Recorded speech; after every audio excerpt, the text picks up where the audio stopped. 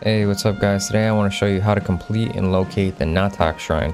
The Natak Shrine is going to be located in the Sky Islands, in the Akkala Sky, right where my purple slash pink marker is on this cross right here.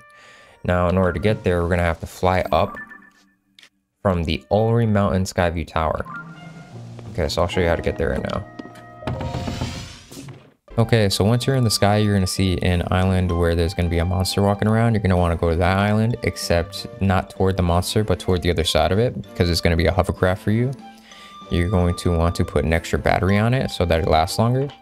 And you're going to want to fly up to the first island that you see up there. And just keep going until the batteries get exhausted and you could land.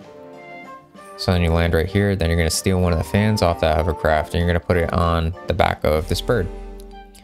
And then you're going to put a second fan on the back of his bird and make sure you put the fans correctly because I accidentally put one backwards and I fix it. And then I go grab a steering wheel and then put the steering wheel on top of the bird, bring the bird forward, and then you're going to start flying.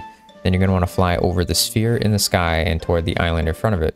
Now, you don't need to keep the bird anymore. Once you get up to the sphere, you could just jump to the island if you want, but then you could run straight to the shrine and activate it. Once it's activated, it's going to show you a green line toward where the crystal is that I want you to bring back to it. So then you're going to turn this platform so you could jump onto this launcher and then you can jump into the sphere.